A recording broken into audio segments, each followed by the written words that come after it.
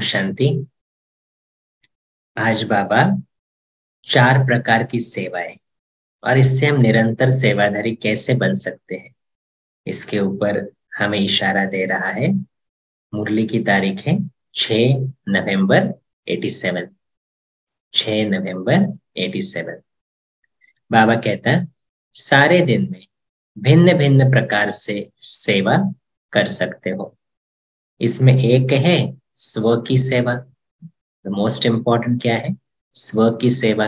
अर्थात स्व के ऊपर संपन्न और संपूर्ण बनने का सदा अटेंशन रखना। आपके इस पढ़ाई के जो मुख्य सब्जेक्ट्स हैं, ज्ञान, योग, धारणा, सेवा, बाबा कहते हैं आपके इस पढ़ाई के जो मुख्य सब्जेक्ट है, उन सब में अपने को पास विथ ऑनर बनाना है। तो इसमें ज्ञान स्वरूप, याद स्वरूप धारणा स्वरूप सब में संपन्न बनना है। तो ये स्व तो ये स्व सेवा सदा बुद्धि में रहे। ये स्व सेवा स्वतः ही आपके संपन्न स्वरूप द्वारा सेवा कराती रहती है। लेकिन इसकी विधि है अटेंशन और चेकिंग स्व की सेवा कैसे होगी? खुद को अटेंशन रखो, खुद के ऊपर और चेक करो। स्व की चेकिंग करनी है दूसरों की नहीं करनी। हम्म, तो पहली सेवा कौन सी है? स्व की। दूसरी है विश्व सेवा जो भिन्न भिन्न साधनों द्वारा भिन्न भिन्न विधि से वाणी द्वारा व संबंध संपर्क द्वारा करते हो। किसी को मैसेज दे दिया कोई टीवी पे प्रोग्राम कर दिया कहीं भाषण कर दिया तो कहीं ना कहीं किसी न किसी फॉर्म से हम विश्व में ये मैसेज स्प्रेड कर रहे हैं। तो बाबा कहते ये तो सब अच्छी तरह से जानते हैं। फिर तीसरी सेवा है यज्ञ सेवा जो तन और धन द्वारा कर रहे हैं। सेंटर को हम धन से सपोर्ट कर रहे हैं कहीं तन से सपोर्ट कर रहे हैं सेंटर की साफ़ सफ़ाई है भोजन बनाना है भंडारी संभालना है जो भी है ये यज्ञ सेवा हम कर रहे हैं। चौथी है मनसा सेवा। हम्म, तो पहली है स्व की दूसरी है विश्व की जो वाणी द्वारा करेंगे। तीसरी है यज्ञ सेवा, तन से या धन से करेंगे, चौथी है मोस्ट इंपॉर्टेंट मनसा सेवा।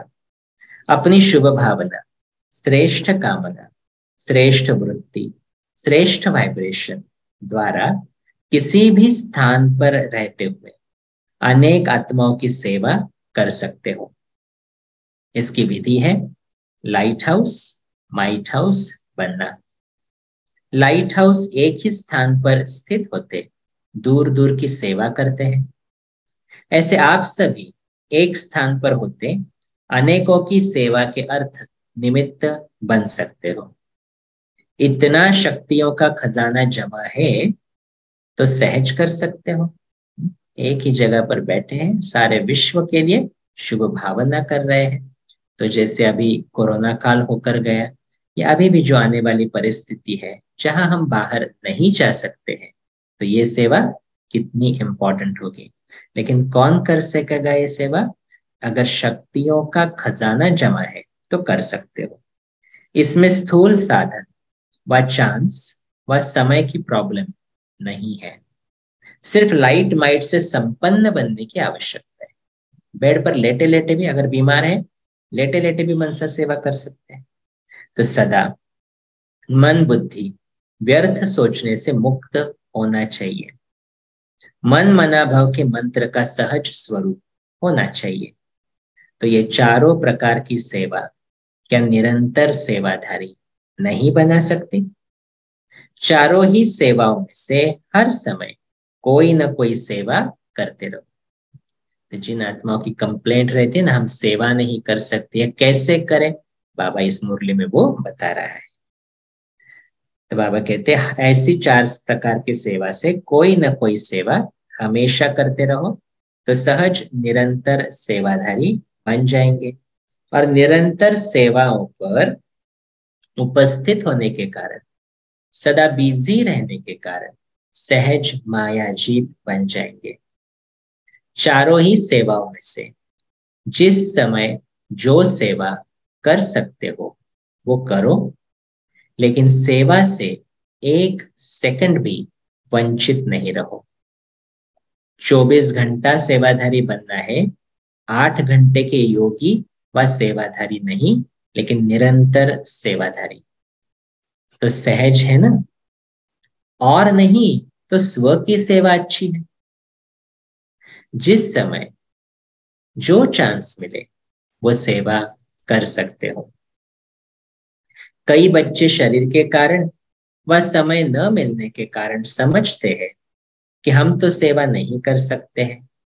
लेकिन अगर चार ही सेवाओं में से कोई भी सेवा में विधि पूर्वक बिज़ी रहते हो तो सेवा की सब्जेक्ट्स में मार्क्स जमा हो जाती है।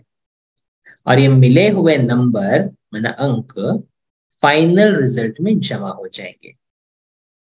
बाबा ने कहा, ना, कुछ नहीं है तो घर बैठे बैठे शुभ भावना दे दो। अपनी सेवा करो, क्या मैं धारणा स्वरूप बनाऊ, ज्ञान स्वरूप बनाऊ, योग स्वरूप बनाऊ, ये चेकिंग करो? तो बाबा वही कहते हर वक्त जो सेवा का चांस मिले, अपने आप को बिज़ी करो तो फाइनल रिज़ल्ट में वो जमा होंगे। जैसे याद का अटेंशन रखते हो, कि निरंतर रहे, वैसे सेवा में भी सदा लिंक जुटा रहे। श्वासोश्वास याद और श्वासोश्वास सेवा हो इसको कहते हैं बैलेंस तब ही हर समय ब्लेसिंग प्राप्त होने का अनुभव सदा करते रहेंगे। और दिल से सदा स्वतः ही आवाज़ निकलेगा कि आशीर्वादों से पल रहे हैं। आशीर्वादों से उड़ती कला के अनुभव से उड़ रहे हैं। तो सेवा में बिज़ी है, लेकिन उसके साथ साथ क्या चाहिए? याद का बैलेंस भी चाहिए। तो क्या कहेंगे? कि हम दुआओं से पलने वाली आत्माएँ हैं। तो चार प्रकार की सेवा में से कोई ना कोई सेवा करते रहना है। आज सारा दिन अटेंशन रखना है, अपनी अपनी सेवा और मनसा सेवा के ऊपर। अच्छा? ओम शांति।